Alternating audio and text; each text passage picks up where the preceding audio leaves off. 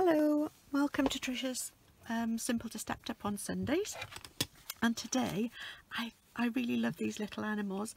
I thought I'd use this um, Peekaboo Farm um, stamp set. I think they're great for children, they're really fun, um, lovely images. These, so those are the ones that I've done. I've used the the ram and the pig and I'm going to use the horse for the next one and of course I've used the the brickwork and I'm using the hello there and sending hugs. And I've also used a little bird. I'll show you where in a minute.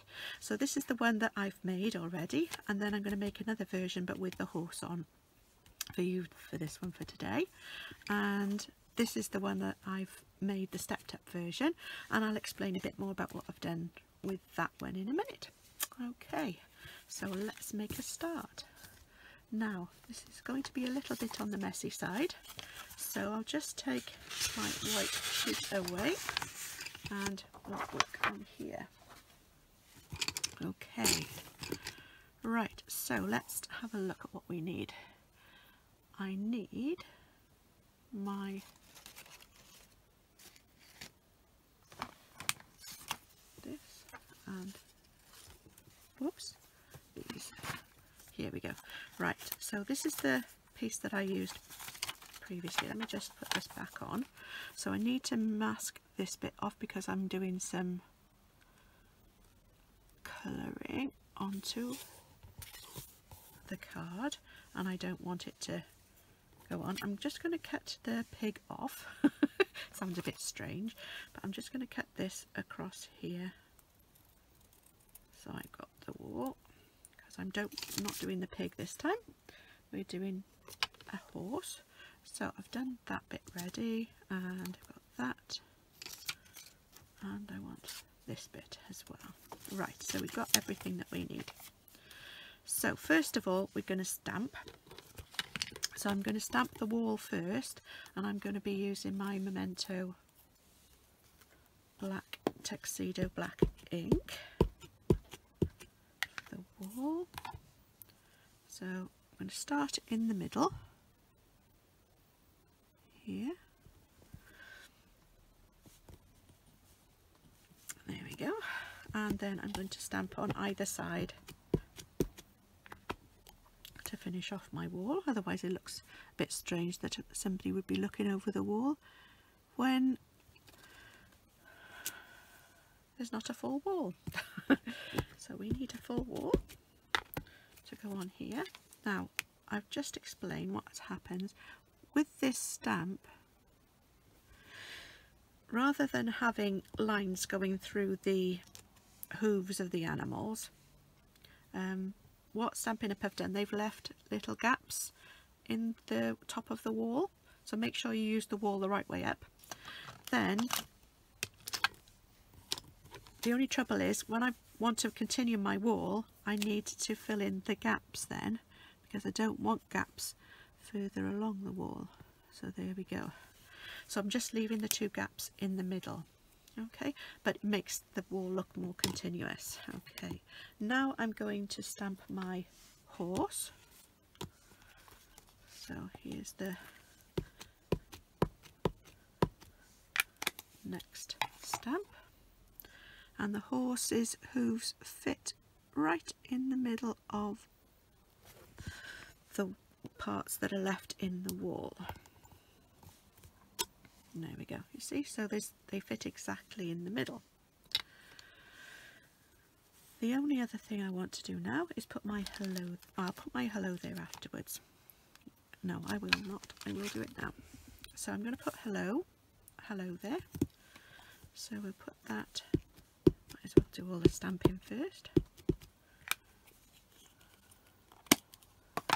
I'll put that up in up here. There we go. And then on the inside we've got sending hugs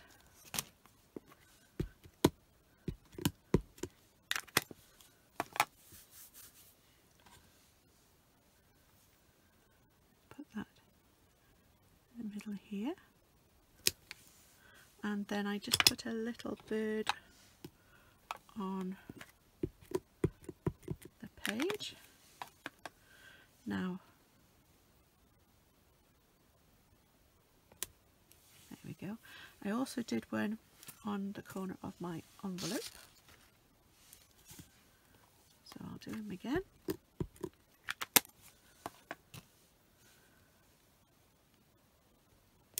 There we go. So that's all my stamping done. And now we can think about colouring. The only other thing I did do on the inside of this card was I just put him so that he was standing on a little branch. So I'll just do that, just using my black Stampin' Write marker pen. And it doesn't have to be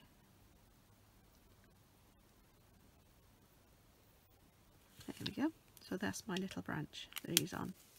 So he's not sort of standing in mid-air. So I've finished with that one. So here's the card. Now we can start colouring. Now what I've done, I've got my wall and that's where it should be, about there.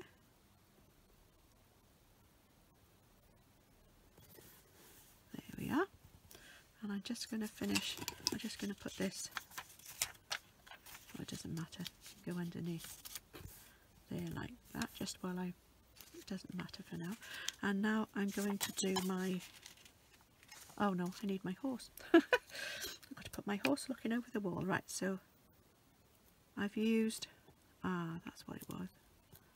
My mane was going to be a bit of a, might be a funny colour.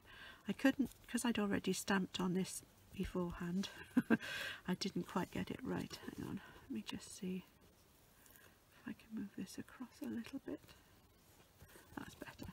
So I've got most of him covered. He's okay. He'll be fine. Um, so what I did, I've got a piece of post-it note and I'm going to just cover the, this bit off. I might do it that way. And then I'll use the other part then to go underneath once I've coloured it in. So this is my top half. Just take move that up. It'll come down again it doesn't matter. So I'm using my blending brushes. You could use a sponge you can use the finger daubers it doesn't really matter. And I've used some garden green ink and some uh, seaside spray is the other colour I've used but you could use um, balmy blue would be just as good. So I'm just going to do the green in between these two. Um, pieces of paper. I'll just go carefully around the hooks on that side. And then from the top down whoops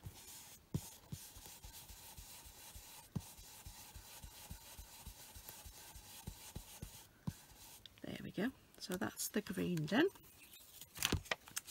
Take that one away because I'm not going to get that far again. And I'm going to put this now hopefully to cover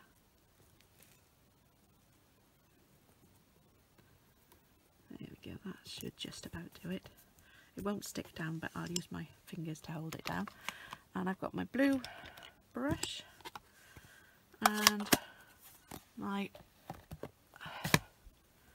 seaside spray.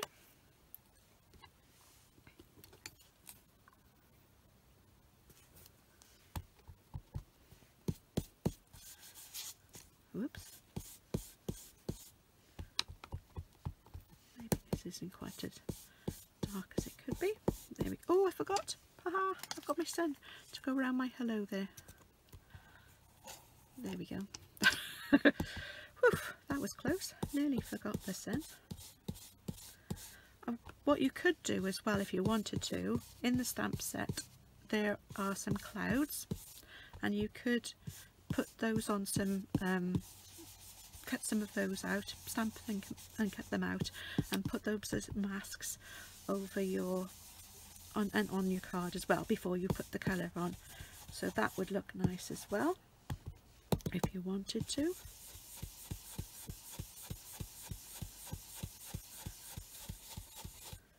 So here we go. I'm just going to go extra around the sun.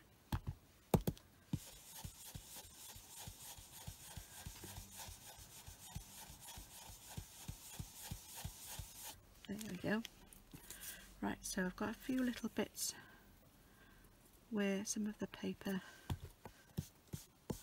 just want a little bit more blue. There, and a little bit over here.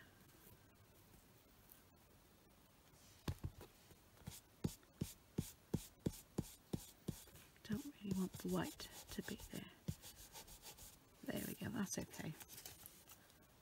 I'm not too worried about the green, that's fine. That'll be lovely.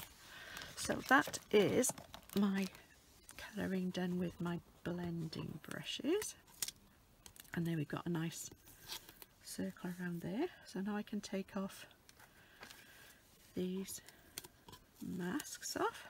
So there we got some nice colours. Now for the wall, for the sun I used some of this, um, Can put this away a minute, sorry. Oh, before I put my fingers all over it.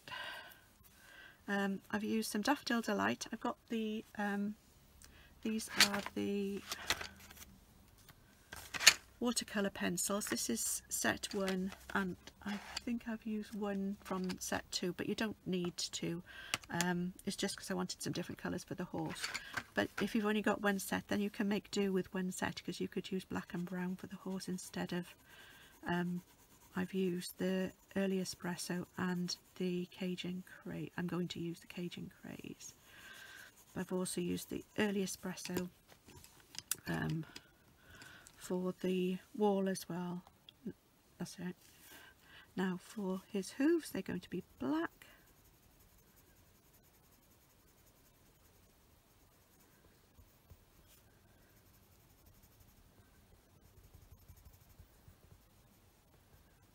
There we go. And no, that's okay. I'm going to use some of the, this is Cajun Craze for his mane.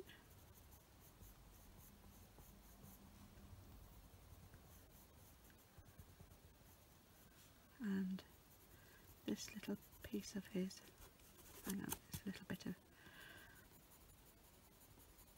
muzzle and maybe this bit as well and here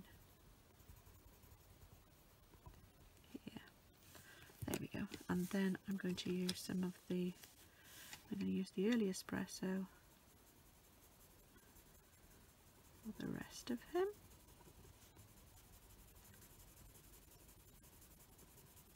Only colouring this lightly. I'm going to go back over it afterwards with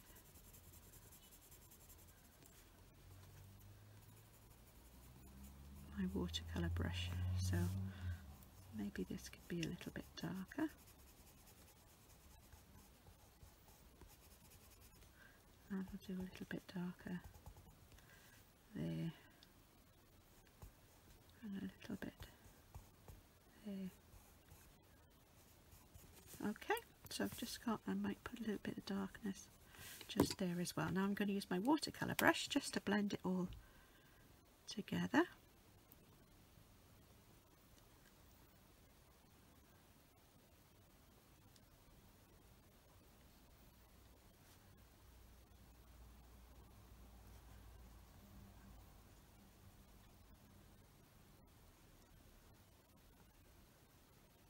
we go. Now just his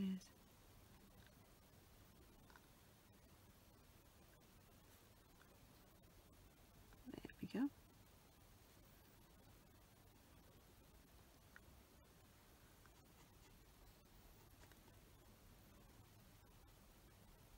Right, so so now that's the horse done now for the wall I've used um, hang on I'll do the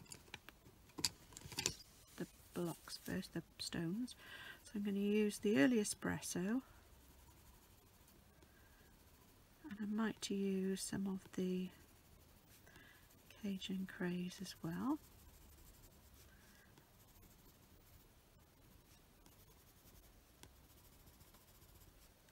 And I'm not worrying too much about it because it's not so much of a problem. This one I think. There we go. So I'll use my Cajun craze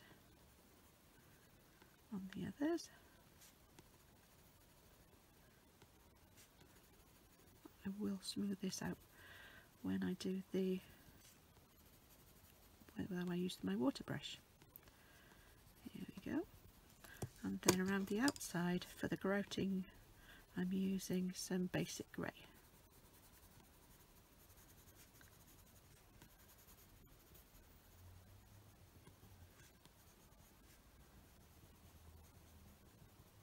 The mortar or whatever it is. um, again I'm not being too fussy because this will get sort of smoothed over when I use the water brush. And don't have to worry because these cards aren't that thin that they will warp with the water. Just do the sun first, just adjust Smooth that out as well. There we go. And then do the dark ones first.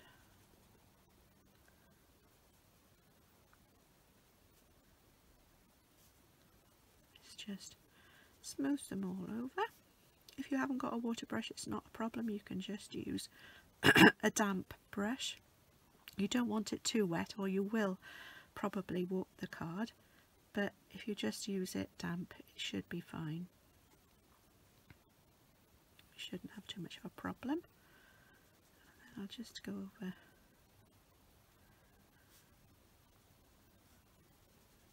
these.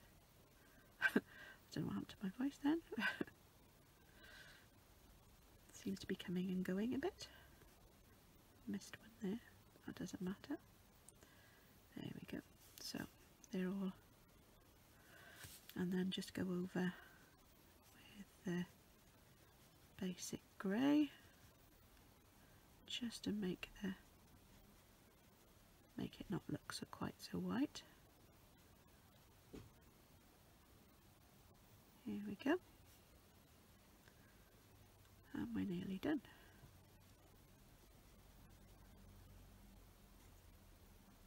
Whoops, what happened there?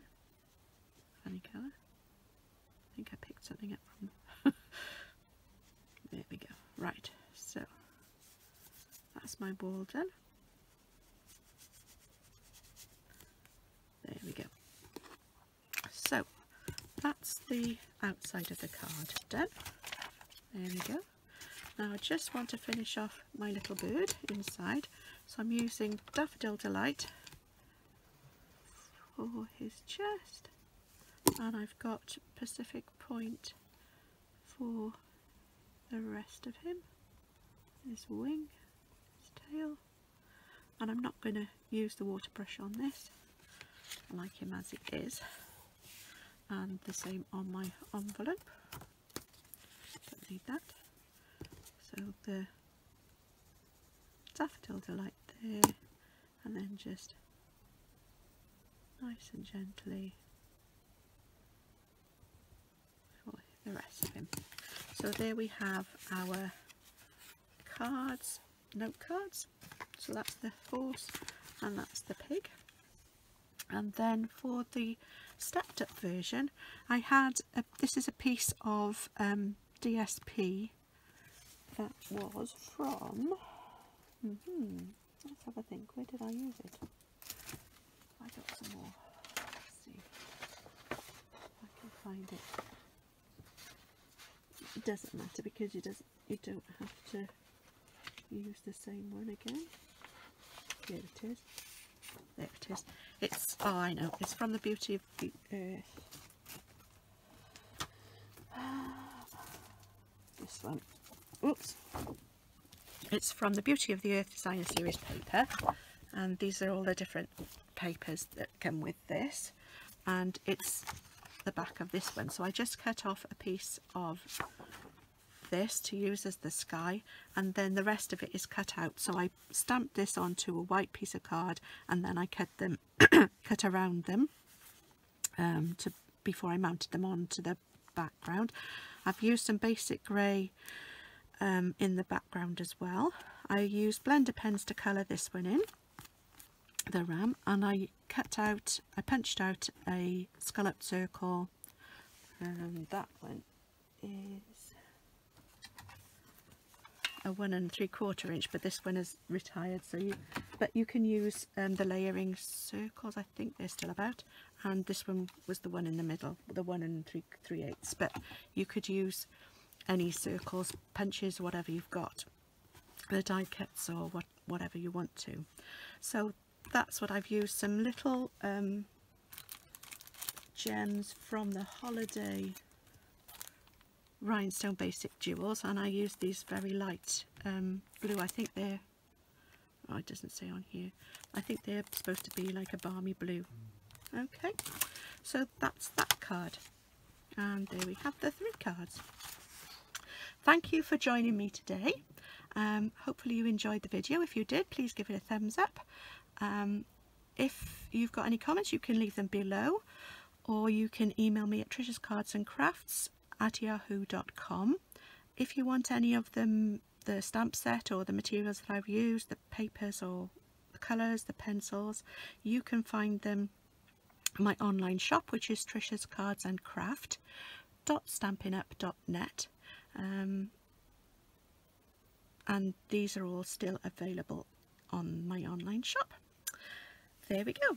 Thank you very much again for joining me and hopefully I'll see you again soon. If you want to see more of my videos you can click on the subscribe button and if you click on the little bell icon you will be notified when I post a new video.